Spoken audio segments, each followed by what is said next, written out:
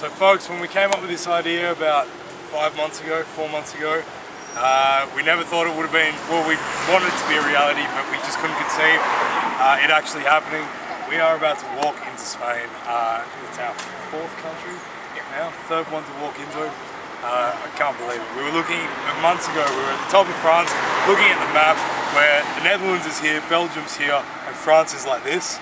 We were up here looking, shit, we gotta get down there, Yeah, and well, now we're here. I still remember when we had like a thousand Ks to go. It was like we have a thousand kilometers to get to Spain, and that was about what a month and a half, month and three weeks ago.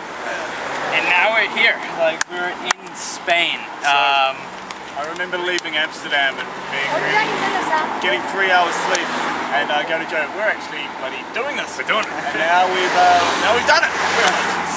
pretty much done it, boys. After Irun, uh, which is where we're gonna sleep tonight, we have 20 kilometers to San Sebastian. 20 kilometers. That is about 100 times less of what we've walked. Yeah. So it's awesome. Gold. So come on, Tom, let's go, mate. We're gonna walk through. Here we do it. Vivas! We are in Spain. Hola! up.